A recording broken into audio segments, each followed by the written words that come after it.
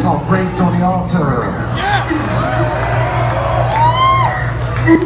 It's to be